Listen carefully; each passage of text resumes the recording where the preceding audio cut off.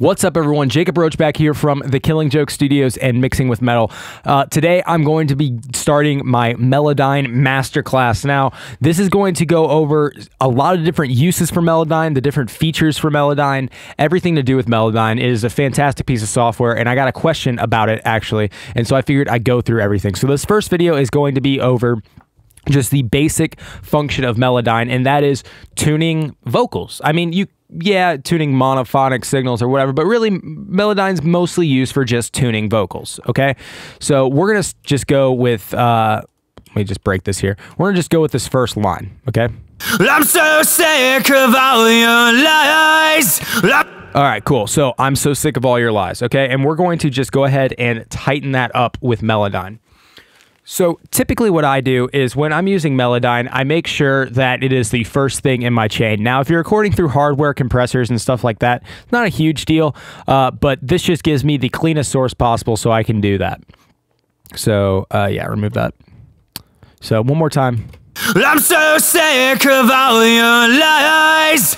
So it's pretty close, and that's the goal with Melodyne. We're not trying to uh, drastically change the voice, and if you do have to, maybe you need to reconsider where you're tracking. We're just trying to kind of uh, level it out a little bit. So I'm going to go over to Melodyne, load it up, which might take a minute.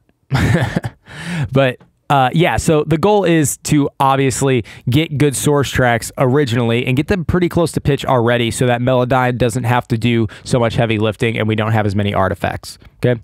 So what we're going to do is now we got Melodyne loaded up, we're going to hit transfer and we're going to play. I'm so sick of all your lies. I'm so cool. So Melodyne just recorded that in. All right, and we can see where everything's at. So typically what I do to start out is I select everything.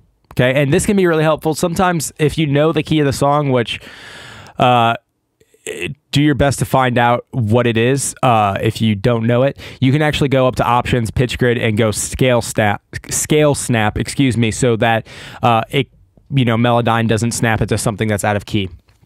Uh, we're just going to use chromatic snap for now uh, because this is already pretty close. All right. So then what we're going to do is we're going to go to our pitch tool. We're going to select everything and we're just going to double click. Great.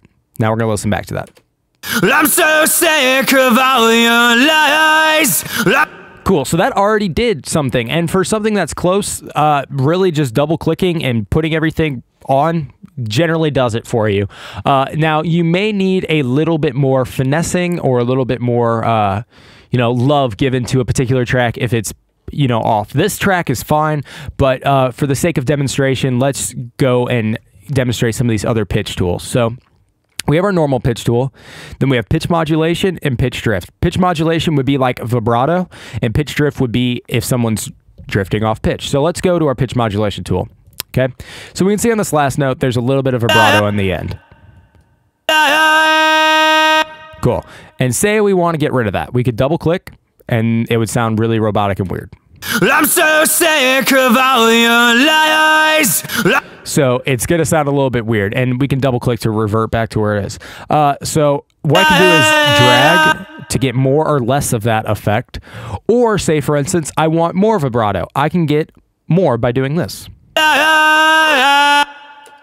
I'm so sick of all your lies. I'm Again, in this demonstration, that's really not what's needed, but that can help, say, for instance, if someone is getting off pitch and you maybe want to tame it a little bit more. Another thing you can do is this pitch drift tool. Okay, and this functions similarly. But as you can see, it reshapes the waveform instead of flattening it out. So this would be zero pitch drift. Okay, let's listen to that. I'm so sick of all your lies. Okay, and this would be 100% pitch drift. I'm so sick of all your lies. Okay, and say for instance down here. We'll pull that in a little bit. Let's pull this in.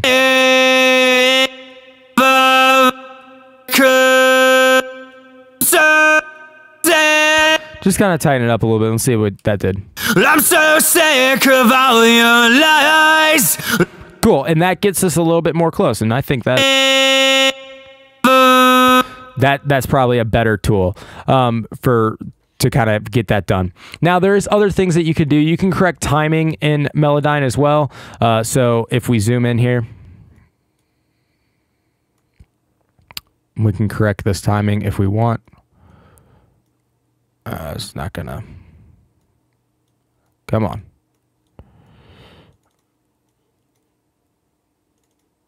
That gets everything perfectly on time. I'm so sick of all your lies. And yeah, it, it would probably need a little bit more love. So, you know, we could take this and why is this not time handle? Anyway, that that gets us our effect. So let's let's just go ahead and undo that because um, I don't think we really need to in this case. And so uh, you can set up timing and fix timing in Melodyne as well. Typically, I don't really use Melodyne for timing. What I do is I come in here and I just manually do it. So I'll just come in and find a transient, uh, you know, where a word begins, break it, and then slide that to the grid and that's typically what I do. And I use a VocALign for uh, lining up the doubles.